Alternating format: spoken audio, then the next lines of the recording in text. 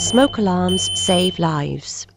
Smoke can kill you and your family long before a fire reaches you.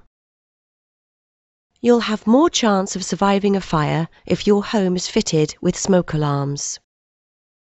At least one should be fitted on each level of the property. If you do not have a smoke alarm in your home, you can have them supplied and fitted free of charge by the Fire and Rescue Service.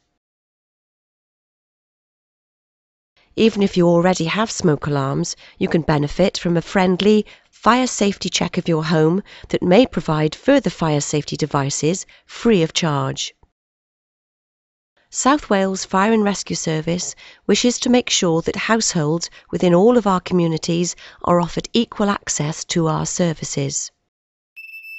Smoke alarms speak the same language to everyone when it comes to saving lives. For a free home fire safety check, call free on 0800 169 1234.